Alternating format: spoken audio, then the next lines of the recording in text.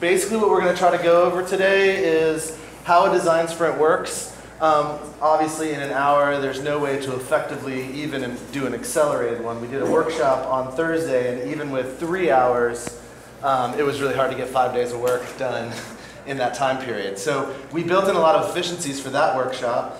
Um, and we got a lot of outcomes from the group. Some of the, some of y'all here uh, that did that, where we ended up with storyboards and stuff. So we made a prototype out of that. So we're going to show you that whole process. Um, but before we get into that, I gave everyone index cards because one of the key elements of a sprint and like any workshop session that you probably do at work, there's the sticky note time where everyone like gets around the table and, so, and scopes out a project or tries to define a problem space. In this particular case, the problem space we're dealing with is the digital presence or the advanced presence in general of Code on the Beach before anyone gets here, like before the event starts. So that whole bridge of time from when someone first learns about Code on the Beach, through getting their tickets, through planning out what they're going to do, all the way to day one um, here in the resort is this area of time that we're focused on. So on those cards, you don't have to do it now, through, we we are going to get to a risks and assumptions part where we explain risks and assumptions a little bit more. But we want to write down any challenge that you came up to. We don't need a list of them. I want you to just kind of think of whatever the top challenge is that you experienced between the time that you found out about Code on the Beach and before you walked in the door. So I know that you probably had like, I wish there were more information here, or I wish the website were better, or whatever. Um, pick whatever you think is like kind of the strongest point that was really a point of frustration for you and write that down as the challenge in the, that, that you think needs to be addressed. Just one thing. Just one thing. That was the big deal. so, um, my opinions matter. This is Ian. Oh, hey. to introduction. Yeah, well, no, we're, we're cool. Ian we're cool. is a um, UX director, and I'm a content strategist, so we're highly UX focused. Um, we uh, learned this whole process. I mean, we learned it ourselves. We've done them before, but we actually got formal um, Google Sprint training um, from an organization out west that came and, and, trained us. And we just really love doing workshops. Like, we really enjoy this design thinking process. And so I hope that this will give you some exposure into that and help you maybe speak, speak design a little bit. I know that that's a big, we were talking about this the other night, that like, it's like a kitchen and a um, wait staff, right? So you've got your developers that actually make the things, and then you've got your wait staff that is out there making promises, right? And those are, it's a hard communication to have, you know, when the food comes back and the waiter's mad and the developer is mad, like, that's the kind of thing that we see happening a lot in digital environments, and we think this kind of hopefully will also give you some insight into the design side. Um, before we go forward, is anyone in here, is anyone a designer, number one? No. One designer. Cool. Thanks, Welcome. Uh, and has anyone else done design sprints in their org? Worked in design sprints? Okay, so aye don't know why you came, but welcome. Uh, hopefully there will be something here that, that is useful. Um, so when we, when we kick off a design sprint, if you're facilitating, and I encourage everyone to try it if you haven't, because you learn a lot. You even learn, like just learning whether or not this works for your organization is really helpful. Um, but if you're facilitating something, you always ask permission to facilitate. Uh, it's really, it's not a super formal thing. There's no I or nay kind of thing. It's just, do you guys, are you guys cool with us? Facilitating this uh, session, and you say, yes, we are cool with it. And then that allows us to cut you off, keep things moving, keep us focused, tell you to conflicts. shut up and stuff yeah. like that uh, in, in, a polite way. But um, that's the Hopefully purpose of there. Your culture. yeah. Yeah. Um, so, John, tell us what a design sprint is. Yeah, so a design sprint is just this really established way to kind of get all of the stakeholder uh, ideas in a room, understand the problem space, the people involved with the problem, and really kind of crack through as many potential solutions as you can until you kind of come to a consensus. It's really to bring everyone to kind of a consensus on what we're going to build, and then create a prototype of that and test it with real people so that you know if how many of your assumptions were wrong, right? And that way you get through a bunch of the like low-hanging fruit assumptions. Come on in you get through a bunch of uh, the low-hanging fruit assumptions. You get to get through a lot of the challenges that maybe are just because this person knows things, this person doesn't. You get a lot of information before you do a line of code. So it happens in a five-day sprint, and these are the elements. So uh, you need certain people in the room to conduct a sprint and get a good outcome, uh, one that's feasible for your org. Um, your primary attendees would, of course, be people that may be founders, especially if you're working in a really small group. You want the founders present. Any board members might be insightful. Your designers or a representative of the design team, maybe your you know, head of design or director. Um, engineers, of course, need to be represented. Um, you can do junior engineers, you can do your CTO, what have you. It all depends on you know, what problem you're trying to solve. Um, and marketers. There's no like specific list of people you need to invite. It's just people that you think are relevant to the problem. Optionally, you can uh, invite SMEs, subject matter experts, if you're not familiar with that terrible name. Uh, partners, um, clients, if you want to do something that's co-creation about solving a problem, um, and then maybe even users. Um, so if you're if you've got something you know user facing, you have users that are like power users. They might know your product better than you do, um, and those are people you can invite. Ideally, you want to have about seven people. That seems to be the optimal way to, uh, within five days, arrive at consensus. Um, if you feel like you're, you need more than that, think about who you could use as experts and bring them in just for interviews to get their input, and then like, you know, catch them up on the output later. And your experts can be like a, a person like that is at your company that really feels some ownership of whatever feature or product that you're making, even though there might not be a stakeholder, they have they feel they have a stake in it. So this gives them a chance to come in and kind of get their thumbprint on the thing. It's Yeah. also a great opportunity if anytime you can get end users or the real like customers that are going to be using the thing. If you can get someone in that league, someone that lives in the problem. Customer is support is a really good Yeah. uh, place to go for that. Um, so the roles of a sprint are essentially you want to have a facilitator, like what, Ian and I did on Thursday and are kind of doing today. It can be anyone though. It's really easy to train up on this. There's lots of free materials out there. gv.com slash sprint will have all five days laid out, and um, we will send everyone out materials after we're done that um, give you all of those references, so you don't have to worry too much about writing it all down. Uh, we'll get this one back to you.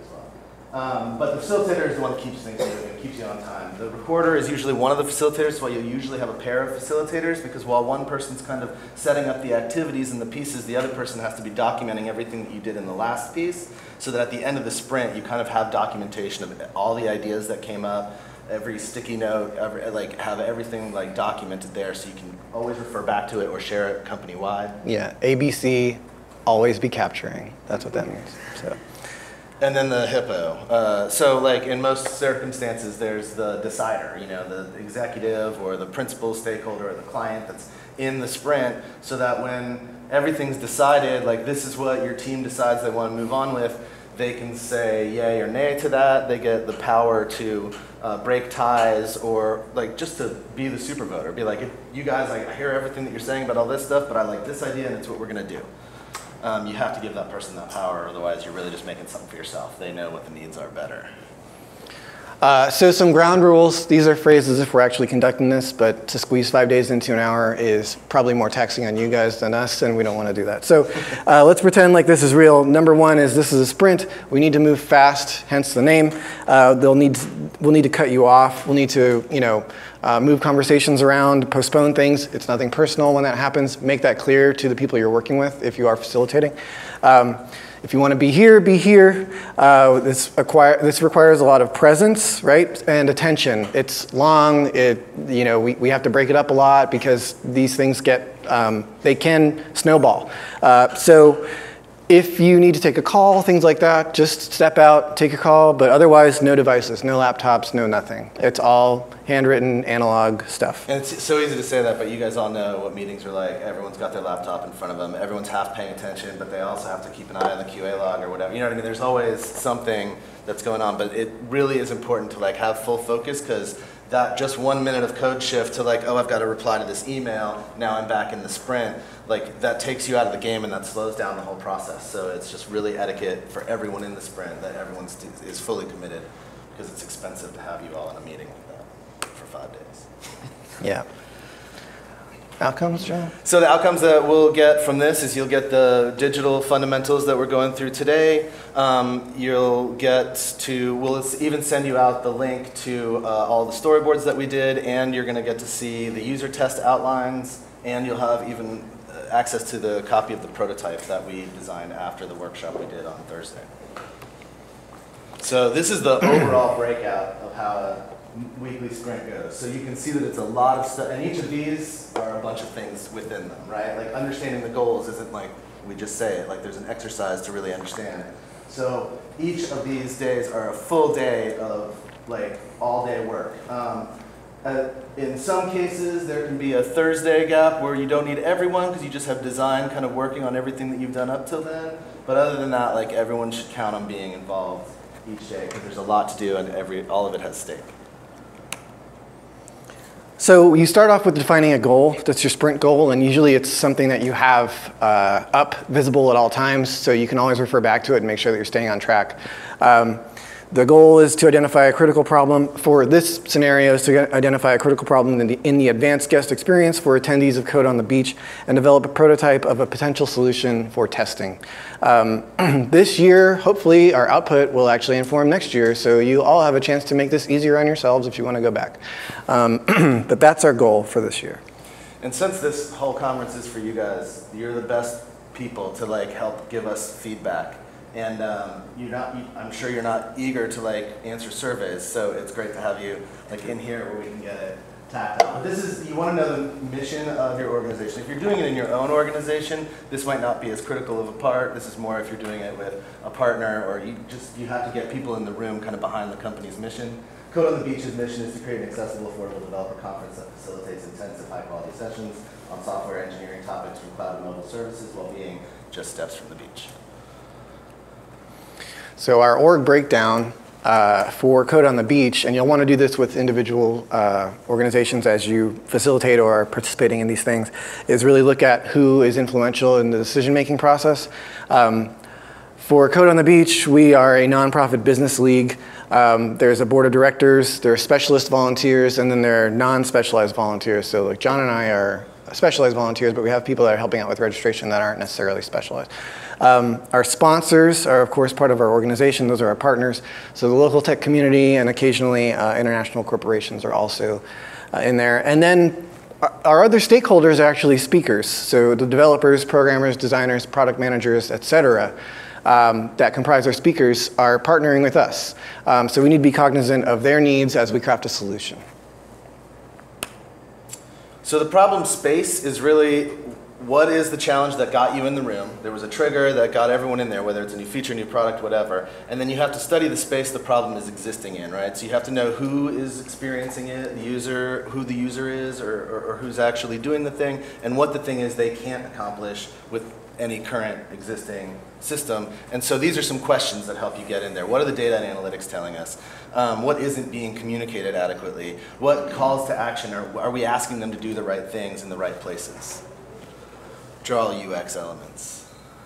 So we, in this case, did a survey that we sent out to all registered attendees uh, in advance of the thing. We didn't get a statistically significant response. We got 22 responses, but for the sake of the exercise, we're going to pretend this is statistically significant data so that we understand how it works.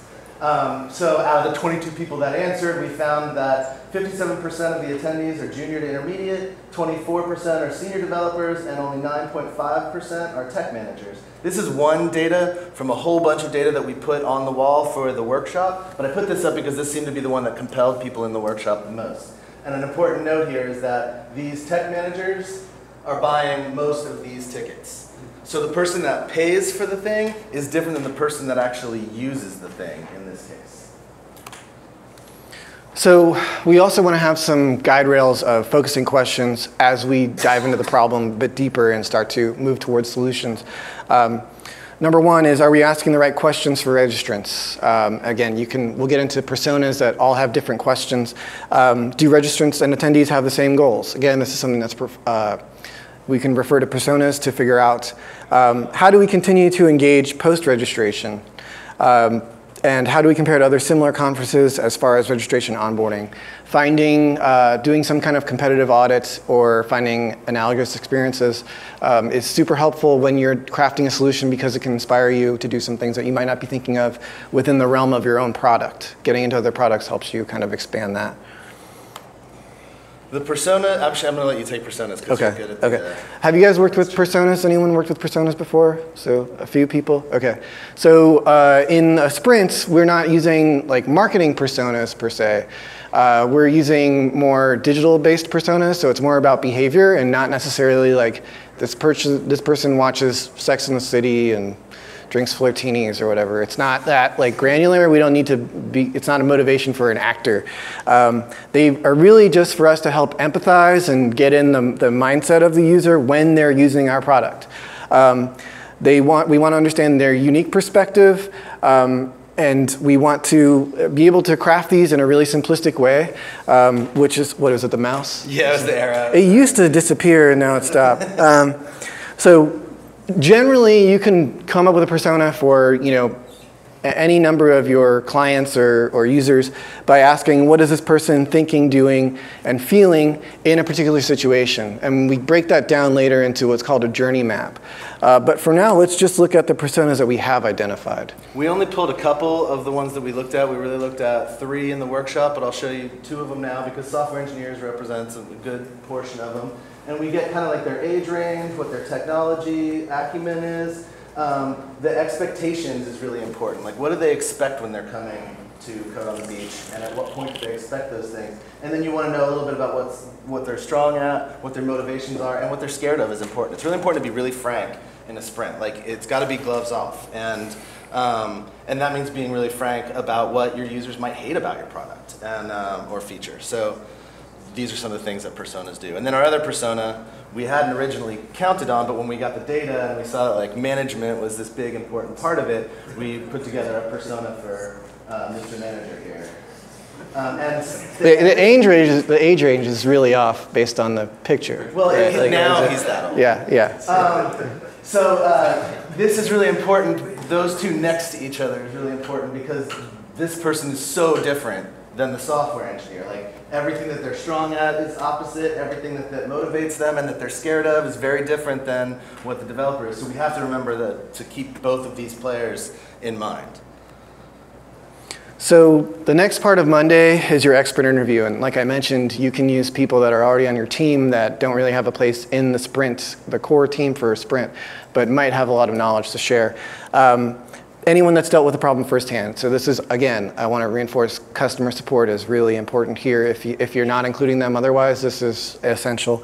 Um, some rules for when you're doing expert interviews are to be investigative. Um, you know, don't pretend to know anything. You can come in there with like and explain it to me like I'm five kind of mindset.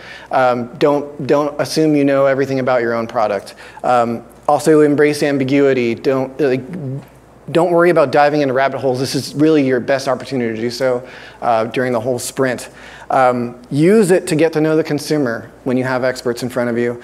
Um, and then you're going to want to use this information to inform the customer journey or user journey um, as you progress. So take notes on like what are the big milestones uh, um, when a user is interacting with my product. You know, when do I get their attention? When do they make a, a decision? When, what's conversion look like? Things like that. Um, and, and then of course uh, ask what has worked uh, or hasn't worked in the past uh, to make sure that you're not treading over any ground that has already been uh, terrible. So we actually did uh, expert interviews on Thursday with the founders of Code on the Beach. They came in and let the groups in the workshop ask a few questions, and um, that really gave us a lot of insights that I think ended up driving what the the groups decide, the direction the groups decided to take. So the next step would be to assemble. Um, in this case, we're not going to break into teams. We did that uh, on Thursday, but we'll tell you about the teams that formed on Thursday. Was Team A plus and Team, formerly known as Team B, Team A plus plus. Uh, so so um, that helped us identify people. You don't always that- have to break into groups in a design. Sometimes it's good to do exercises where you like kind of diverge and then converge. But um, in this case, we had to because out of efficiency. of Yeah. time And, Sometimes in scenarios where you actually have two really good solutions and you want to prototype them simultaneously and test them simultaneously, you'll also break up. It's not recommended though, and if you're doing it for the first time, pretty much never do that because it's impossible to manage. But you can if you need to. yeah, once you get once you're comfortable with facilitating, I, I think it's fun to do the divergent one, but I, it it's fun in practice. It's not fun in deliverables. Um, so journey mapping is like critical part of Monday. It's where you're understanding exactly where the person is experiencing the problem Um, and so we've already like gapped ours that it's just before the festival starts, right? So that's our end line. And then you'd work backwards from that to try to find the very first touch point. That when does someone first find out about this? How do they first hear about it? What brings them in at the beginning? And then what are all of the touch points along the path that they have to interface with uh, your product or your campaigns or just your brand in some way? Um, so that you can all be focused in and make sure that not only are you solving the right problem, but you're solving it in the right context and in the right place. Um, pro tip is to use post-its instead of just writing it down because you'll be rearranging it all the time. Just make sure that your stuff is modular and able to uh, be reconfigured. Um, this is not necessarily a sprint deliverable, but is a really good way of figuring out what those um, steps may be if you just want to get it down to like five steps. Um, if you guys have seen the terrible movie Glengarry Glen Ross, there's a scene where he says AIDA, attention, uh, interest, decision, action. Um, that's kind of the way this is broken down, but in nicer terms. Uh, this is called the five E's of a user journey, which is entice, enter, engage, exit, extend and you talk about the touch points, which are like the channels. So it, you could start at a billboard, even if you have a digital product. It could start at a billboard or a magazine advertisement or in someone's tweet. It doesn't have to start in the product. Um, and then you'll map it to these goals that they have at every juncture, and then measure sentiment. Um, like a good way to this this is all textual, but if you want to like get fun with it and make it interesting for others to read. We often replace sentiment with emojis just because they're way more expressive. Um, and you don't have to stick to someone being happy, neutral, or sad, which is like the, the normal range. With emojis, they can be like blowing kisses or whatever you it want. It also gives you like a regularized set, you know? Like everyone might use different adjectives, but they're all going to use the same smiley face if they feel smiley face. You know? This is yours. So uh, risks and assumptions. Uh, the cards that we uh, gave you are to participate in risks and assumptions. We haven't actually coded anything for the website of next year, so we are going to make a new website for next year. We know that that's a big sore thumb on that. So um, all of the input that you guys um, give us on these cards today will be considered as we're moving forward with the um, with the whole project. But um, in this case, what you want to do is you want to be, you want to say the things that you probably are usually afraid to say about your own product or features or work. You want to be highly critical. Like this is your chance to just put like all of your worst fears on the wall and uh, make sure they're being addressed when you get into the sprint. So some examples of risks and assumptions. This is coming from starting with assumptions, and then you might go and like map these to a risk level. Welcome. Uh, so these are all assumptions we make about the code on the beach experience. Um, some they can be really simple too, like the code on the beach website is online and functional. That's an assumption. Maybe it's not. Some people said it wasn't when they tried to register. So um, we're also making the assumption that users are interested in speakers. We're making the assumption that people give the speakers credibility. And lots of these um, assumptions are legacy assumptions, right? Like this, uh, attendees want to bring their families. When we first did, were doing discovery with Code on the Beach about like what, what is what are the, what are the things like eh, eh, they said oh people like to bring their families. Did any, did anyone here bring their family? One, two, three. So the, we're not saying it's an irrelevant problem, but we're like, is that an assumption? Like that has to be like tested. You can't just build the whole thing around like the, we do a Disney cruise when that's only three people that benefit from that. You know. Right. So then you map these to the riskiest assumptions, which you know, the idea of the site being online. That's not a risky assumption. It's probably got 99% uptime. Um, some of you may argue that. But uh, then we'll move into, we'll take those and we tricked you. Those aren't risks. Those are opportunities. John, tell us what an opportunity really looks like. Yeah, so um, everything that you just wrote down is like, oh man, the website sucks, or whatever, becomes an opportunity to make a great website. Those, every single one of those is a challenge that someone really experienced, and so now you're going to look at all those challenges and say like what is realistic for us to tackle in this time period? And that'll like what are what are most important? And that'll do it. What themes are there that are emerging on their own? And then that's ways to kind of group them and just through the process of looking at all those risks and assumptions you start working towards uh, you understand the problem space well enough to articulate it in uh, the form of a how might we question the trickiest thing about the how might we question is finding the balance of it not being too broad so that it's like make the festival better and not being too specific so that it's like make the festival better by creating a prototype. I mean, by creating a Android app that helps you know when uh, cornhole is going on. That's too specific. Um, you don't want to like write create the prototype in the question. You know, you want to leave enough room that ideas can emerge. This is the one that uh, was written by the uh, A++ team. Uh, but both teams actually came to the same problem space um, independently. No one was cross-working. They both looked at the data independently. They both talked to each other about the problems and risks and assumptions, and both groups decided like this is an important thing to solve. Um, so that's the one we went forward with on Monday. So we arrived there, though, through voting. Um, Now we're on Tuesday, right? Beginning? Yes, it's at the beginning of Tuesday. Uh, so you will vote on your how might we's. You should have a ton of them because you're guaranteed to write some terrible ones at first. Um, the, it's going to take a long time to get to a place where you feel really comfortable with writing them because they'll always have some like specificity or being too broad um, until you get really good at them. Uh, but you'll, you'll have an opportunity to vote on them as a group. Uh, so each uh, excuse me, each attendee gets three sticky dots, you know, those little like highlighter colored dots. Um, and you're going to put them on the, H, the how might we's or HMWs, as we'll say moving forward, um, that you like and that you want to investigate and probe into. Um, you can vote on the same ones. They're non-binding. You can move them around if you change your mind. You can just do whatever you want with them. You can put them all on your own if you want to, if But you feel that strongly about it but it is time boxed. So at the end of that, um, if you don't have a solution that everyone's gravitated toward, that's usually when you'll have a tiebreaker that's done by a, the decider, so the founder or whoever. Um, and then you'll use that how might we, in this case this one, to pick a persona and target a portion of your journey map. So clearly you guys can probably intuit that where we went was serving the tech manager persona and getting uh, the registration process itself right.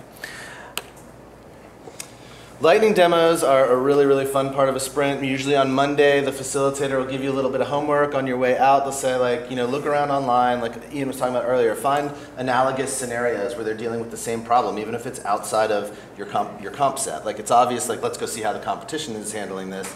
But then it's really interesting to say, like, okay, well, we're a conference, but music festivals have a lot of similarities, so how do they solve this problem? And that'll really like get your mind going in different places. And then you bring all of those um, in, and during the session on Tuesday, um, you'll ever like you'll go through. You'll say, "Oh, my favorite one was uh, Google I/O. Like how they do theirs seemed really good." So then the facilitator will be like, tell me what you liked about the Google I/O interface. And as they talk through it, you would write down, the facilitator would write all these down and put these stickies right under the printout or the drawing that you do of the um, site. And you do this for every single person's analogs until you get through it all. You find a lot of things, you find when people bring the same things in, like that's interesting, that's almost already a vote, you know? And when people bring really outside ideas in, that can really like jar things up and make you think about things entirely different it's a fun part.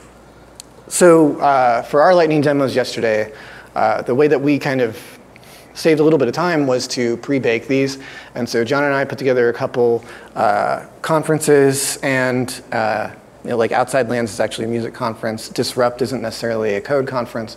Um, but we put these together and we just picked out some screenshots that we thought were influential in the customer journey, and we put them up in black and white.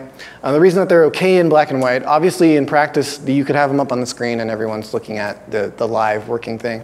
But the idea of uh, just using black and white helps you isolate the content that's really important because we're not really going into design necessarily, like visual design.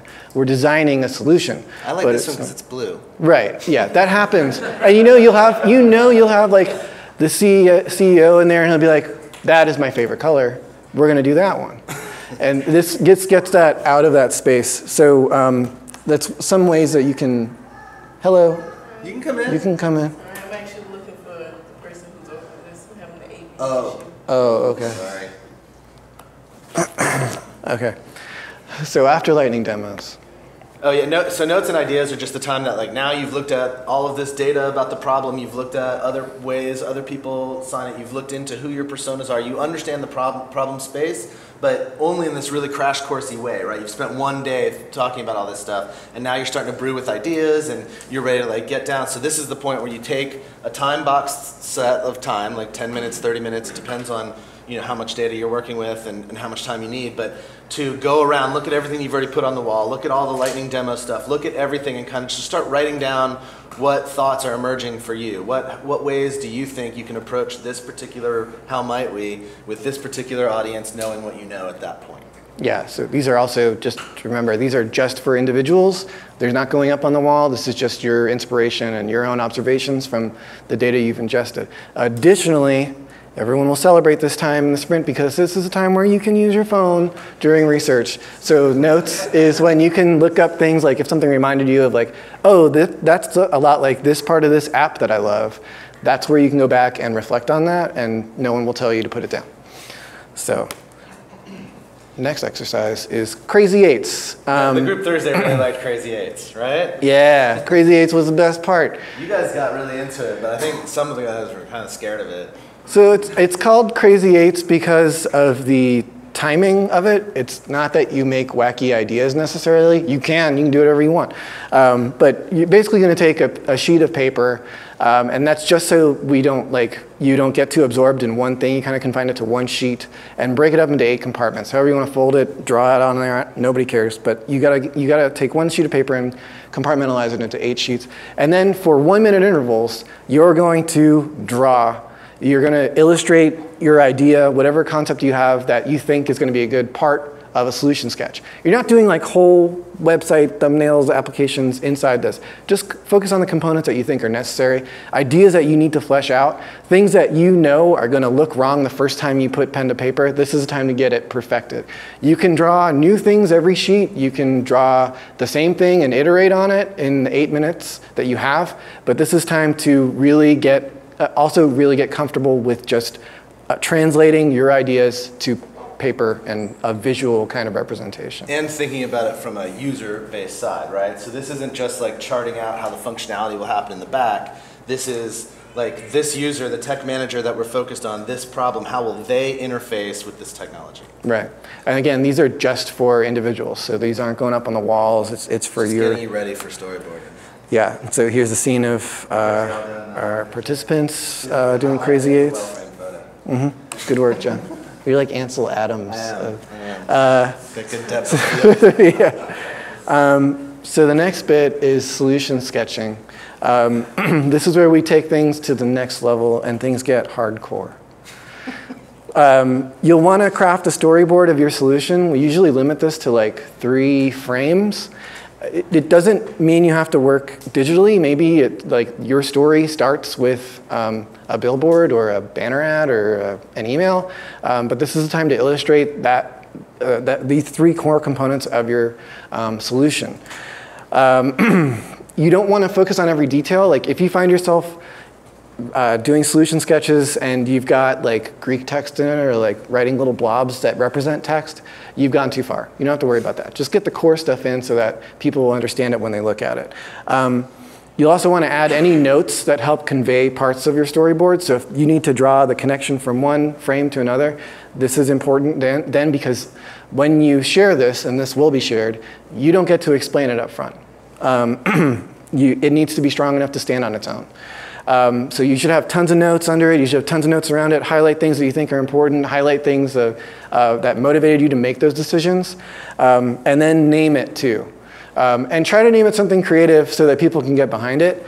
Because if you all have like a very homogenous naming system, I'm not going to name team names A plus plus, A plus, and all of their business tech uh, bulk um, registration titles. They almost had the same name, so you couldn't tell the difference. But try to make it really personal to you and, and come up with something creative in the last couple seconds you have, um, even if it's like the name of your You get dog. to be the slogan guy at an ad agency for a minute. Yeah. Um, so this is what they look like in the end. So we, when we handed them out, we, we pre, we force everyone into a mobile first environment because it just makes it really easy and succinct. But you can use just blank pieces of paper that's in thirds. You can think about it in a desktop environment. You can think about it as in a physical environment. But you're essentially wanting to get these three main components of your thing and take all of that abstract idea, idea concepting and get it into what it would really look like in an interface. Um, take note of these little sticky dots because we're going we're going to talk about them later. Uh, the next step in solution sketching is art gallery. So, like at the end of the Tuesday, which is when you're doing the solution sketches, um, you'll turn them all into the facilitator, and you'll go on your merry way and talk about how lame your work is. I was in a meeting all day, and um, and then meanwhile, the facilitator is going to go and hang all of those solution sketches up on the wall with some level of anonymity. I mean, if you know your team, you're going to be able to recognize like, oh, that's definitely Greg. But like essentially it's supposed to be fairly anonymous that when you come in the first thing on wednesday you have a whole gallery. And the reason it's called a gallery is because no one's allowed to talk in this time. And for the first um, however long you decide to gate the gallery period that you're just going around and looking at everyone's solution reading through them trying to understand them and kind of getting an idea of like which ones speak to you which components are really cool. And you use sticky dots to um, highlight. You can you're putting heat on. Basically, it's a heat map, and so you're creating all this heat on the components of the solution that you liked, and then you do speed critiques. This So here's this here's what the- voting looks yeah. like. Um, I'll we can talk about a speed straw critiques poll. Yeah, yeah. Go ahead. So the speed critiques are now you've gone and you've put heat sticker, heat mapped all of these different things. So now the facilitator is going to come through after the after all that uh, heat after all that voting has gone on and is going to ask um, what what is it about this component you guys liked? And then as a group, people will say, oh, I really liked that it did this, this, and then I'll write all those on sticky notes and stick them like right under that solution so that we can see the parts that people really gravitated to and why they gravitated to it Or didn't like. or didn't like. It's very important. Yeah. Sometimes somebody will put something up that they like, and somebody else will be like, I hate this. And you have to be able to be frank like that in there. Nobody can have feelings about stuff. Feelings take time. So yeah. So after you've hashed it out with a, um, I'm sure a very kind speed critique, uh, One that isn't in an HR. you go to the straw poll scenario. So, so then we're going to do straw poll, uh, which is more voting. This is voting heavy, uh, but you only get one shot to pick your favorite. And there are a few boundaries that we add in here um, to ensure that everyone's vote is only influenced by their own opinion, which is um, number one, everyone's going to write their initials on the sticker. Um, so that there's no weird, nobody's cheating, basically. Um, it happens. You wouldn't think so. There's only eight people, but it happens. Sometimes not cheating, people just forget. They, yeah, sure, okay. Uh, and then like no pacing around. You like everybody basically lines up, and then you're like go, and within the next like 10 seconds, everybody better have their one vote on a solution. Um, the vote is non-binding, and that's because you can have weird distributions based on how many people are participating and where like all of your solutions are, are ending up. If you have like two really strong solutions and everyone's either on one side or the other, you will have people that will need to revote and remap. So it's, it's not really binding, but it does give us a good idea of where to head next. This is also a time where your decider might come in with their super vote, which is one of the things that we're skipping, We uh, or that we did skip in Thursday. Thankfully, we didn't have to do super votes, but um, that's where the decider will pick a solution or multiples, like we mentioned. This would be, be where you diverge um, and separate into groups to tackle two totally separate solutions for the same problem. Um, and then there might be more voting after that too, if you want to, because like it's, sometimes the idea of even diverging is um, controversial. So you got to reconcile like who's adopting this. Oh, we don't have enough designers in the sprint team. Well, who's going to do this prototype? So um, uh, having impractical winners, that's like one of the scenarios. Um, if there are multiple favorites by the decider, because the decider can also say, I like all three of these. Go do this. Um, thankfully, we didn't have to do that yesterday. Right. So now you have a bunch of components. You're at, um, you're still in Wednesday. This is, I believe, the end of Wednesday. And um, now you've got all of these things that you like and all of these different um, uh, proposed solution sketches. And you, you can kind of coalesce around those and say like, okay, now, now let's start saying like, we're gonna pick, usually the way we do it in the past, the way we've done it in the past is you pick one solution sketch, you get everyone to kind of get behind one, but then you can use those other components that you liked about others in the storyboarding part. That's where you say like, we're not just talking about these three pieces, there's, we know that there's 10 screens in this solution. So now's the time to kind of flesh out what, what will each of those screens look like? What opportunities have we figured out from our risks and assumptions and from these other solution sketches that we can incorporate into the storyboard because we think they're powerful aspects of the experience? Usually ah. you, yeah, limit this to what is realistic. We limited it a lot. We said like less than 15 and we only ended up doing like six- Seven at six or most? seven Yeah. frames. Yeah. Um, but again, like it says up there, the longer you make the storyboard, the longer it's going to take to test. That means that you're going to have testers in the office for longer, which means you have to pay them more, and they eat more of your snacks, and they take more of your water, and they go use your bathroom, and you have to take breaks. So just keep it to like five or 15 so that it's manageable when you get to the part where you're actually testing. And seriously, people. in tests, like the users will, you'll get about 10% of the conversation is actually about the thing that you're testing, and then the rest is about opinions they have about everything in the world. Uh, so this is what a storyboard looked like. You can do them on one sheet. You can dedicate whole sheets to them. There's really no right or wrong way to do it. Team A++ had some really good designers and really great handwriting, because this is tiny. Like the other team used full sheets of the easel paper, and they got their whole thing on the almost one. Yep. Um, but this is where you can get a little more uh, granular in what you want to describe. So here we have, you know, Jane Doe, Bob Villa, and a bunch of other fake names, open slots, things like that. This is where you can kind of start to get into the details a bit more, figure out what you need to have uh, as a critical component of reaching like some level of believable fidelity in the prototype you eventually build.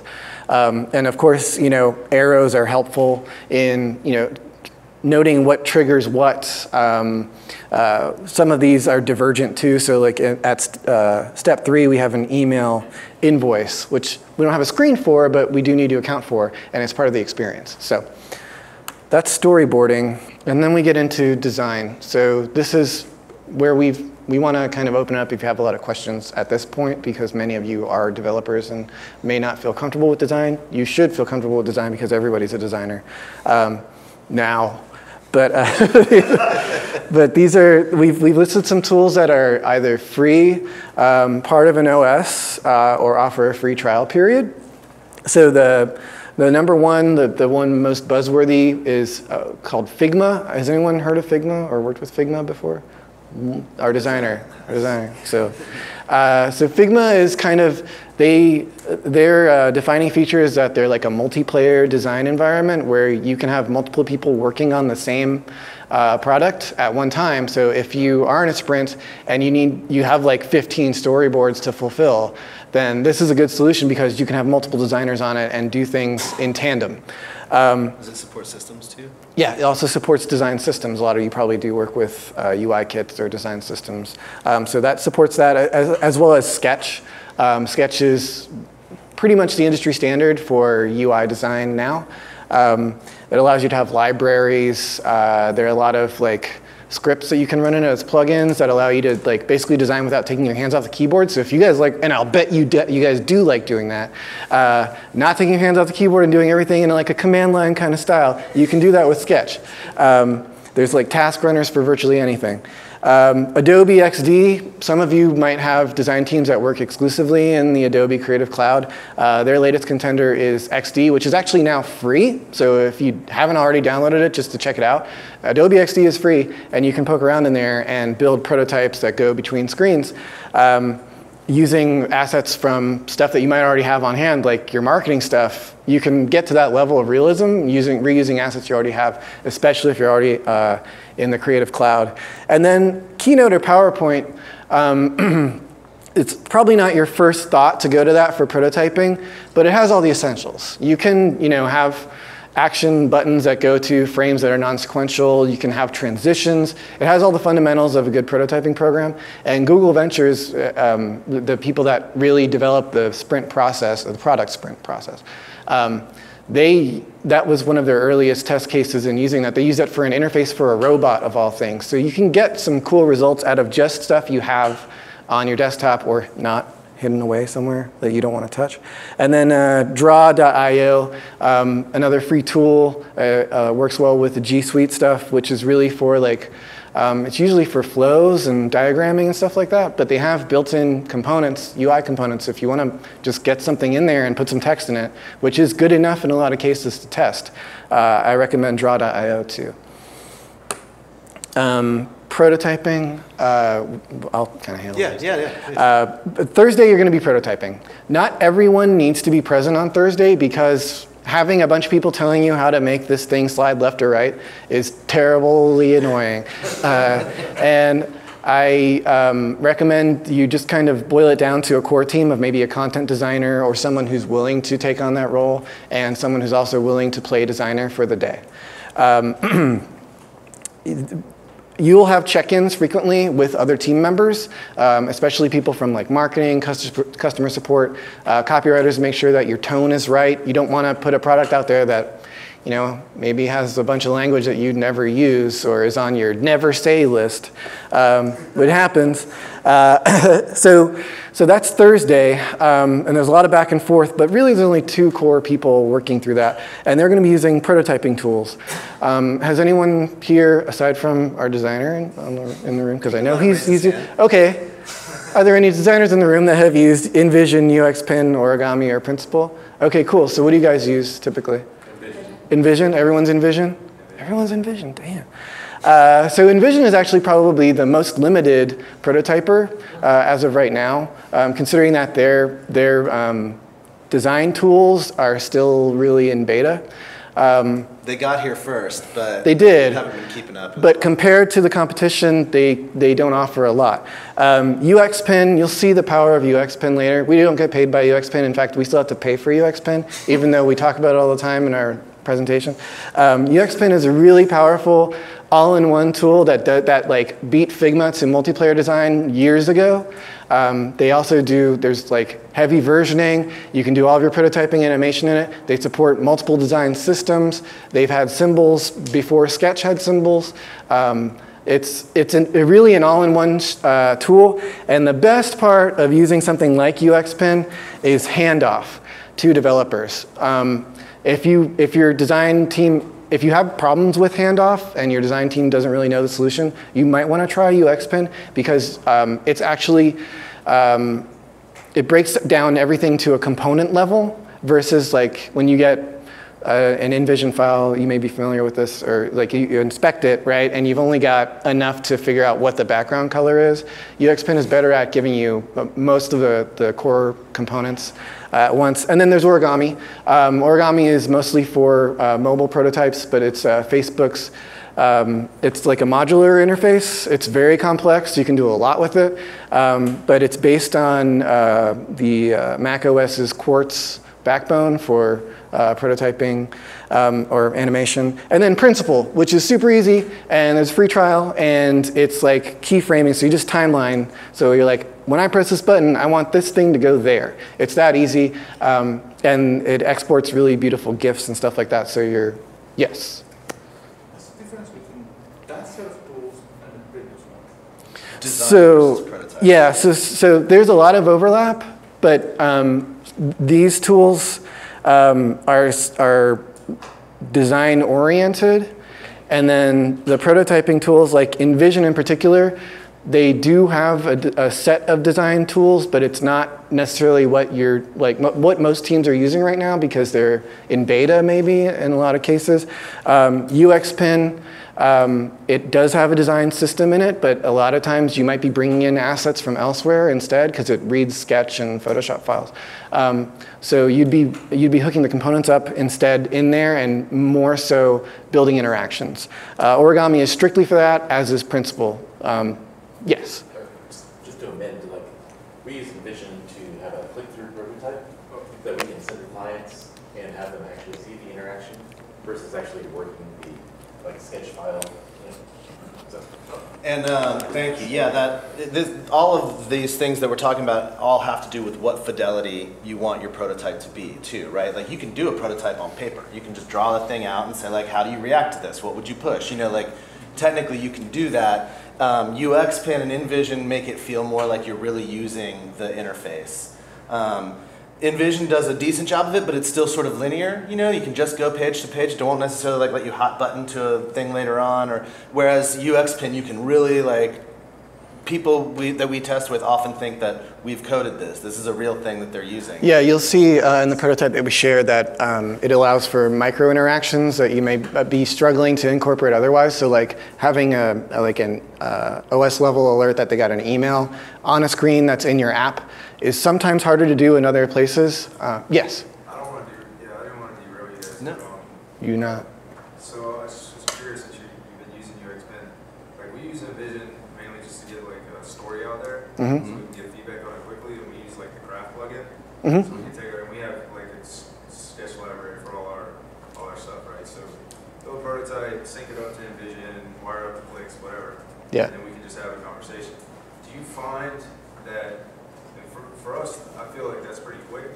Um, do you find you spend more time with UXPin because it offers like uh, all those inter, like the, a deeper level of interaction? Because I agree, like InVision is, it only goes so far. Right, Like at right. some point, you're like, all right, we gotta code this. You know, like we're gonna have to build a more robust prototype. Yeah, it, it's a great question, and it really relies on um, scoping with your own design team. Like, I've had designers that will go through and make everything like pixel perfect, but really doesn't is not uh, essential to the the core interaction, right?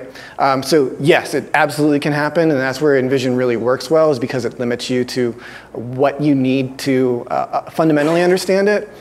Um, for smaller, for more like minutia, UXPin really works uh, much better than InVision in some cases. I think a good example to the answer that, uh, the question that you just asked too, is that ye- yesterday, or Thursday, right after we got done with the workshop, we took storyboards that the teams had made, and within, what, three hours? Uh, an hour and a half. Hour and a half, the design of that prototype, but then we turned that into a prototype with UXPin in like a very short, quick period of time. Yeah. So uh, just to illustrate how that worked. No, you were there too for like. It was in your room, so. Uh, so here's here's like some of the places that we landed uh, with our teams, um, who Yeah, really so- killed it yes the other day. This was the one team, like I said, they, they, both teams decided to kind of pick the same problem to work with. So here's like what they sketched up just on a piece of paper in the workshop. And then here's the design that Ian did from it. And you can see that like Ian didn't even have to engage his brain. He just said, I'll No. just do what you did. Yeah. Um, and then this is, uh, I was like, I wish my regular job was like this. 'cause I- and then this was a, a screenshot from the storyboard uh, that the other team had done because they got this piece done really well. And then this is his interpretation of that. And that's UXPin? UX. Yes. Um, so uh, here's what UXPin looks like in practice. Um, sorry, I'll restart it here. Um, but this is, on, this is in um, mobile Safari. Um, the text fields are fully functional. Uh, you can have logic in it. Um, you'll see in the upcoming piece that there is a little micro interaction. So the thank you, and then John got a notification from his email.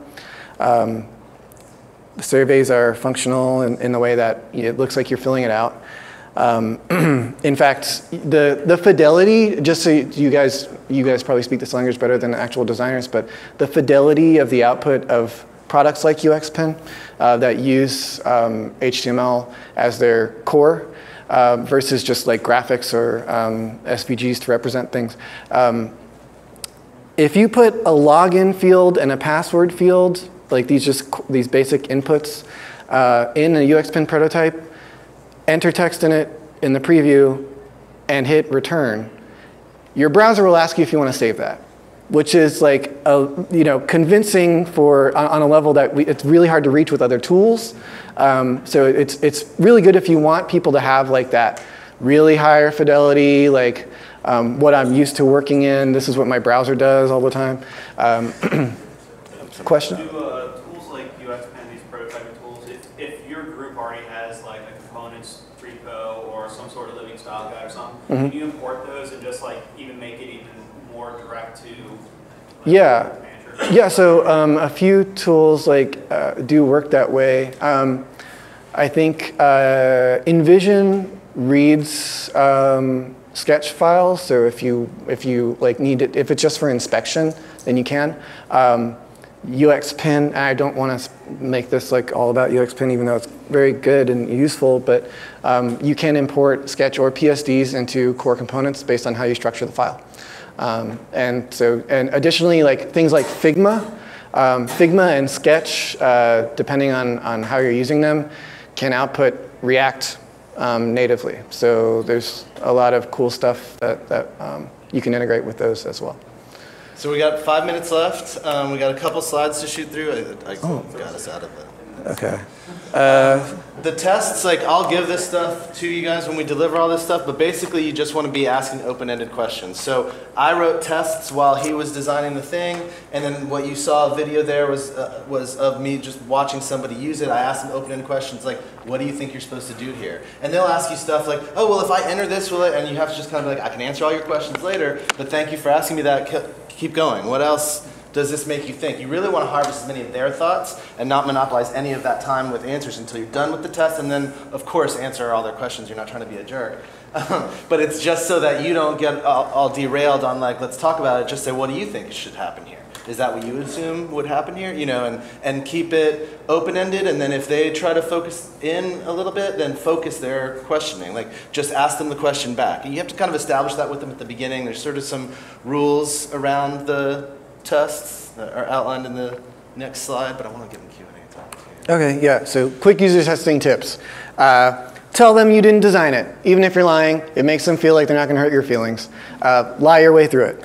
Um, always ask for advice and not feedback. It's a subtle change in the language. You get the same output, but when you're asking for feedback, you're uh, inviting them to be overly critical.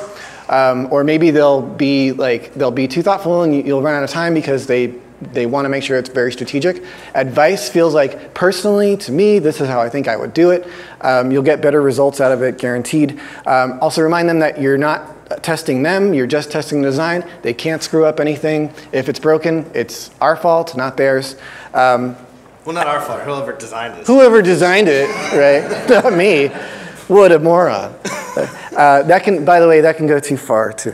Um, ask open-ended questions, like we mentioned. Um, again, postpone uh, answering their independent questions um, till after the test is done, and then also have someone taking notes. And if you can't have someone taking notes, record the whole thing and take notes afterward. Uh, so the next day, I'll try to get through this. Oh. Um, okay, so testing synthesis. You want to regroup with the team on at Friday. This would be afternoon Friday, and look at all of the user sessions you've conducted. You only need five to seven. Um, if you have questions about sourcing them, can, we'll be here for a little bit, and, and we can help you through that because we have a lot of unique ways of approaching that, especially if you're doing something really lean or you have no money. Um, uh, so you're going to regroup with the team, look at the highlights uh, from your user tests, especially if you have video. Those are super, super helpful. Otherwise, just review the notes. Um, discuss this, what was successful and what was unsuccessful. Talk about why that happened. Um, keep a list of specific feedback uh, from your testers so that you can go back and look at that later and prioritize. That's the next step. You're, gonna, you're basically going to go back to square one and say, like, here's where we are. Here are all the problems. Are these high levels of effort? Do we need to do this again. If it was unsuccessful and you have a lot of problems, you may need to rerun the sprint, especially if you're just starting out with a new product. You might want to go back and say, like, here's what we learned in sprint one, we have to come at it from a different angle, or maybe we're solving for the wrong problem. Um, and if it was a success, then you start moving into your product pipeline or your development cycle afterward. But it's pretty straightforward after that, and it's really dependent on how your org works. So, questions, comments, criticism, these are our Twitter handles. yes? Any tips on like selling this to upper management? Oh man, that's a good question. We can have a whole session just on that. so, so the best way to, to sell it, of course, is um, to look at the timeline. You're, you're asking a lot of people to have you know dedicated days inside that room, right? That's the biggest hurdle most of the time. Um, to to look at their salaries basically and say for this many hours this is the output that you get and we didn't spend any of this development time because to get this far to test it with a totally functional prototype would take at least two weeks of multiple developers uh, and, and designers, and then it still has to go through the same process, and you still have to test it. Um, so there's a lot of ways to talk about ROI on UX in general, but most of the time it's like, just look at it from hours. That's- Also, being persistent about like the data and analytics that you know are indicative of the problem. You know, like you know that there's a Mm-hmm. big problem that needs to be solved, and the more like like a like drip torture, like the more that they can see, like yeah, we had four more bounces yesterday. Yeah, like you know what I mean. Like, Yeah. If you can stay on them, we we found that we had to kind of go rogue and start doing some testing on stuff that was being made that had not gone through this process, and we had some good software called Lookback where we were able to do these unmoderated tests where we would send them to people. They would start their session and we would see their screen and their face. And Yeah. we would hear them talking through it. And we found that people were really, really frustrated with our alpha product. Right. And we were still moving forward with it. Like, it's great. We love it because our CEO loved it and the founder loved it. And that meant we were going to build it no matter what. And then we started showing, like, this you want to give this to the world? You want to make people feel the way this person feels? And, like, yeah, that's that's actually great. Um, if you if you manage to run one and like you have good output from it, and your maybe your leadership team is on the fence about doing it again, um, eh, but you see value in it, and you probably will. Um, show them your worst user test. It makes the like our our the, previously at the org that we were working with, we were doing these very regularly. We showed them the first one, and this girl's like going through this product, and she she gets like, a background in, like, national security. yeah, and it says like it was a, it was an HR tech product, and, and the first go around at our you know machine learning what have you um, suggested that it, that she become a bus driver, and her her feedback in doing this unmoderated test was it makes me feel like shit, and so we played that like basically on loop. She was like, like hey, she like said to whoever was in the room with it, that pretty much makes me feel like I suck. Yeah. You know what I mean? And that excuse me. that like hit the founder like in the chest. Then he was like, "Oh man, I never even." You know what I mean? It was just. Yeah. Thank you. Yes. So do you, do you find any major like differences between like B2B and B2C design? Yes. Yeah, um, a lot of B2B organizations don't do this type of uh, design sprints. They usually get their feedback directly from the clients, and um, because uh, they, in those scenarios, they usually have a, a built-up uh, consumer base of people that are already paying for the product and ingrained in the system, legacy clients, stuff like that. Um, they don't really run these because it's um, a lot of stuff they already know. And, Well, and and they, they're not they solving big usage. problems, but yeah, well, that too, they can force you to do it. But they're not solving big problems.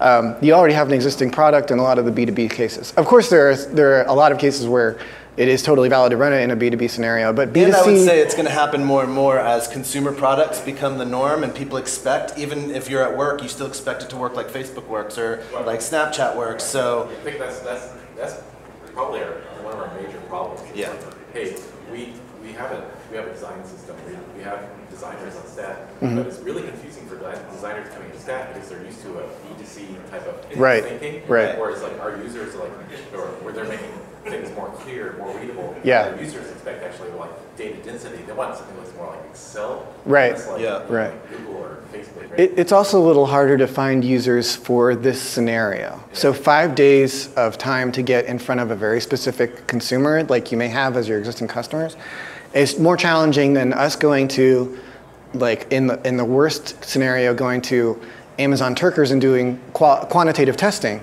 Uh, but we can also get people off Craigslist for a $50 Amazon card that day most of the time.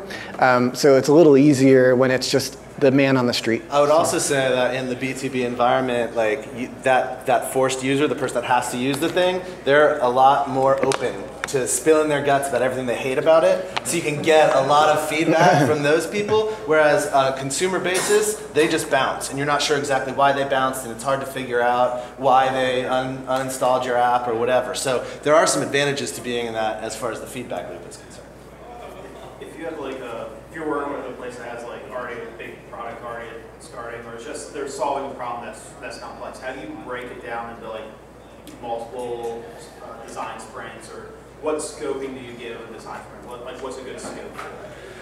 It's a good question, and I think it depends on the actual product in a lot of ways, or the, or the scope of, the, of that project. But if the thing is like we need to fix our onboarding, I would say the design sprint you focus on one user's experience, whoever your prominent, most the biggest user is, and you focus on one piece of that puzzle. So if it's like they're bouncing halfway through onboarding, then we're just to work on onboarding, and we're just to figure out like for this main, the blue sky scenario for this main thing, we're to prototype around that. And then you would go back and say like, now, okay, now how do we include the the the software engineer that we weren't considering because we were only thinking about the tech manager? These people sometimes want to go buy their own tickets. Are we forcing them to feel like they're a jerk because they don't have a coupon code or they don't Yeah. have a bulk thing of tickets? So it's just being focused enough that you get that core piece of it, and sometimes it's troubleshooting. You know, this piece already exists, but it's not working. How do we fix it? But it, the the trick is like I would say you try to get as focused in as you can um, without limiting your choices and,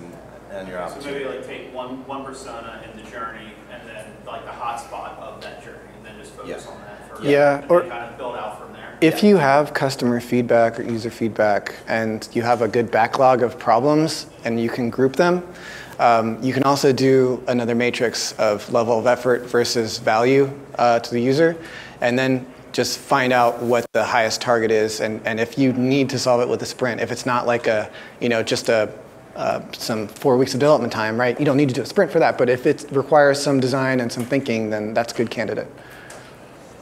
And also, you can do like a full the full sprint on that blue sky main person, and then you might say like, okay, well, we need to include the secondary and ancillary users in this equation. So you don't have to do a whole other five day design sprint, but you might come back and like, let's spend two more days just thinking about these other pieces. Um, and you can use some of the extra pull any exercises that help you get that done. You've already done the full design sprint, so you guys are already in the pace, the inertia, like. Um, it, so you don't have to do like, okay, now we have to do another five days because we forgot about this thing, you know, or whatever. So, You know, or whatever's how I like to end my sessions. So we, we recently uh, redesigned an application, 16 years old, huge WebSphere application. um, and Wrangling you with legacy it up code. into kind of like areas of functionality, right? But Yeah. We used a kind of a six-week design period. Do you think that this would uh, prevent us from, now we're going back and redesigning screens and we thought we had captured six, you know? Well, uh, you do need to work it into your cycle um, and give it a lot of lead time. Uh, Uh, for a rule for us, um, we usually recommend having a design sprint completed two sprints ahead of when it's actually slated to hit development. That gives you enough time if you have to go back and do the sprint over again or you know refine it. You have enough time to do so if you need to. Otherwise, you have plenty of lead time with your uh, other teams, like your design team, your marketing team, your development team, to scope it out uh, and be pretty accurate. So In, in our case, like whenever something would come up, like, oh, this is, it's, you're in the road mapping meeting and someone said, uh, we're telling you now that there's this other feature that we're going to add, or we need to improve this particular, si-" as soon as like that is said in the meeting, we say, all right, when do we schedule the design sprint, right? Like that's step one. So you have multiple of these design sprints throughout the course of the project? yes, Yes. Depending on its complexity, but yeah. cool. Thanks, guys. Thanks for coming. Yeah, sorry we went long, thank you.